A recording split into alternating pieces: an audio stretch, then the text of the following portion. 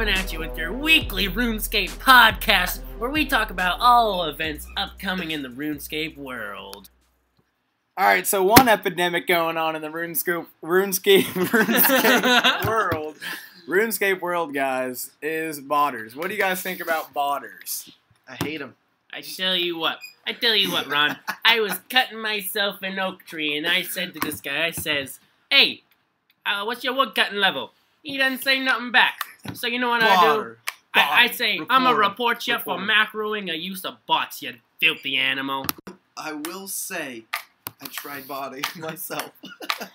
Botting is something that's tempting, but it's just illegal, guys. We can't do it. Can't Well, uh, I tell you this, Ron. Uh, I got a little lazy in my RuneScape career, so uh, my friend told me about this website called PowerBot.org. Now, PowerBot.org allows you to download scripts to do things such as woodcut, mine, train. I mean, it did everything, darn it. archery. Archery, gosh! and you know, I, I tried botting myself for about 16 hours. And that's why I truly believe botters should be banned from RuneScape. All right, now we're going to be talking about some attributes you can get here on RuneScape and the RuneScape world. Uh, I think an important attribute you can uh, accomplish and get higher. I mean, you can get all the attributes higher, but one one attribute you can get higher and is really uh, really beneficial to you as an individual Is. is mining and smithing. I totally forgot what I was gonna say. All right, so mining and smithing, yeah, you just you just go down to an old mine, grab a pickaxe, and you start uh, axing away at some uh, some some some core, some ore. Is that yeah, some ore? Yep, it is over. And then you get that ore, you take it to a furnace, right? You put it in the furnace. You get a bar made out of whatever that ore was made out of, right? What do you What do you do with that bar? And Ron? then this is where the smithing comes in. Smithing is something that's just you can make stuff, you can sell that stuff, get some money. So yeah, you're gonna take these bars, make things out of these bars, like you know swords or armor or anything like that, and you're gonna sell it off because that's how that's a good way to make money, in my opinion.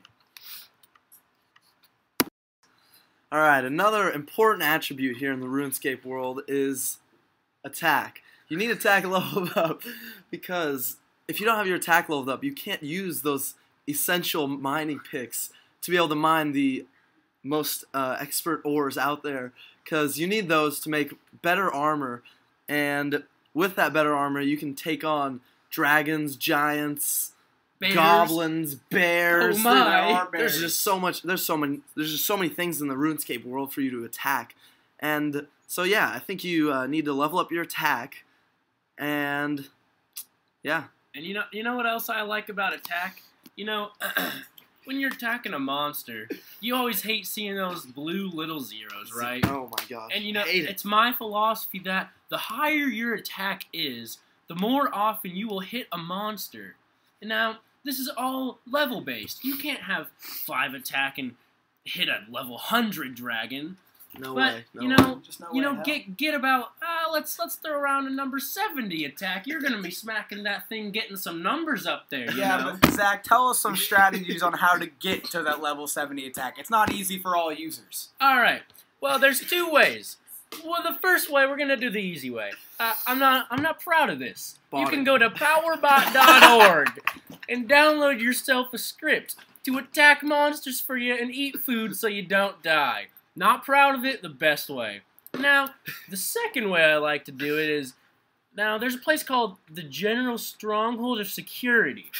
now, there's mobs down there that will attack you without you having to click them.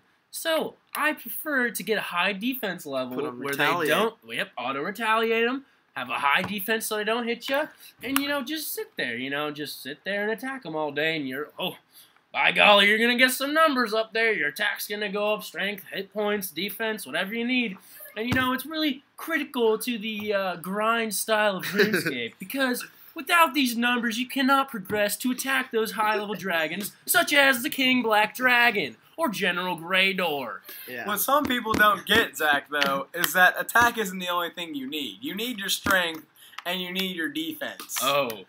Oh, do the, ya? the defense. Well, why You is that? do. You need the defense leveled up because you to be able to wear better armor, you need to have a better defense. You know. Is there is there uh, perks from wearing better armor? uh, yeah, you get a.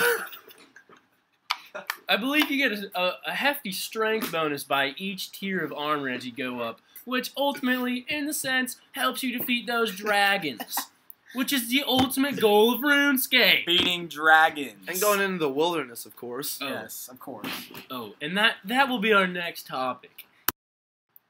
Now, speaking about PKing, which is player killing, this is something that can be done in the wilderness. And now, if One of the best play- aspects about RuneScape here. it- it's really a good aspect of the uh, player versus player to get satisfaction that you're better than another human. So now, if a person attacks you in the wilderness, they get a skull above their head, which means they keep none of their items if you kill them. So, if you run at someone in the level 20 wilderness, they can't run all the way back without you getting some good shots in. And let's say they got a pretty bountiful loot on them. You know, they got full rune. That's about 150k in the Grand Exchange right now. You know, you get that full rune, you can sell that. You know, and then that can ultimately progress to slaying dragons. But Dragons. Zach, is is the risk of losing all your items and going into the wilderness and losing to someone else worth it? Let me tell you this. Let me tell you this. I'm a experienced RuneScape player, and I'll tell you this: you win some, you lose some, Ron. You can't win them all. You can't lose them all. You know, you're gonna find that noob, and you're gonna take his rune armor. or bronze armor because you know he's not doesn't have high enough strength level. he's a noob. Well, yeah, And you know, like we said before, you get those stats up, the defense, people hit you It's less. easy. You know, you don't have to eat as much food. You outlast someone in a fight. You know, you hit the high numbers. You you hit them with the dragon dagger combo, the one two, the one two, the old one the two, ca- get them poisoned. You know, the spells. you know fire, what are they fireball. gonna do? They're, they're gonna have to be eating their shark as fast as they can, but whoop, they're dead. They're already they're, they can't But- click that fast. But what people don't understand is not just the players in the wilderness that are dangerous. There are also creatures in the wilderness that can get to you. Oh, Creatures. I tell you this. I know, hop into level 19 wilderness by Edgeville. There's some dragons out there. Green dragons. Very profitable. You got the dragon bones and the green D hide. Green Sells for D-hide. about 6k for both of them. You know, That's you get profit a full, right there. You get a full inventory, bring that back to the Grand Exchange, get some money so you can fight some more dragons. Now, I will say this. Level 19 wilderness is nothing to mess with, people. Nothing. Nothing. You go out there, you're gonna find a level 100 that's just gonna kill you in a second. And then not only do you lose your your dragon bones and your D hide, there's your armor, There's gone. Your, there's your armor. Teleport right back to Lumbridge. Yep. And then you get the long trip back to Varrock. Unless, of course, you got 25 magic. Talking about like numbers. All right, so now we're gonna talk about the newer version of RuneScape because I think as a uh, as a consensus between us three, we like the old one better. Oh, so, yeah. Oh, yeah. So I I personally don't like the new RuneScape. Let's get other opinions on it, guys. What do you think about it? Um, I think the new RuneScape is uh, trash compared to the old one. Old one, it was just so much better. All the grinding you had to do to get up to that high high level, it was just way too much fun. It's just a classic, man. Yep. And you know, the new RuneScape, they call it the EOC. Not sure what it means, but I know that's what it's called. They made it pay to win. You can pay money to get a stat to the max level. That's boozy trifling if I've ever heard it. now, coming from a real nerd, I will also say this. I've played World of Warcraft, Oh, which yeah. is what EOC, the new RuneScape, was also like. You have a set ability that, or a set of abilities you can use on other players or monsters, such as dragons, that can, they can make them bleed or stun them. I mean, it's just bogus. Why? What's wrong with just a one-click attack? You know, you change it to slash, stab, or you know, swipe. Walk. You know what's wrong with that? EOC, they they, they suck. I'm done with them. And uh, as we, we wrap up here, I'd just like to thank everyone for tuning in to the weekly podcast of RuneScape. We loved having you here. You were a great audience. Um, you know, follow our SoundCloud. We're going to release our podcast there. Uh, hit us up on iTunes, 99 cents for a podcast each week. And, uh, you know, it's been great, guys.